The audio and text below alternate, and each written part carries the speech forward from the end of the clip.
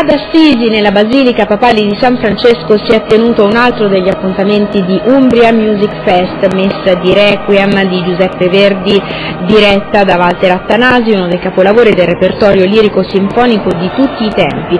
La messa di Requiem è stata dedicata al ventennale del Comitato per la Vita Daniele Chianelli.